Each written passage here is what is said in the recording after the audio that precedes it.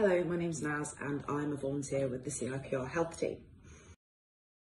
Uh, the thing that made me want to uh, get involved in volunteering with the CIPR was I'd just done my diploma in public affairs um, and I was really keen to get the most out of my membership with the CIPR. Um, and what better way to do that than to get involved and do some volunteering with one of the committees.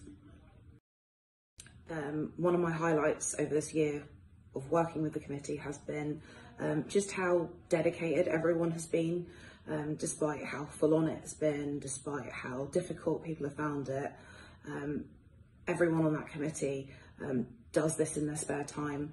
They do it between meetings and after work and um, it's just an incredible thing to choose to do and give up um, in order to make sure that we sort of have better comms and a better experience as CIPR members if anyone is thinking about uh, joining a, a, committee or volunteering anyway, I would 100% definitely suggest that you do it.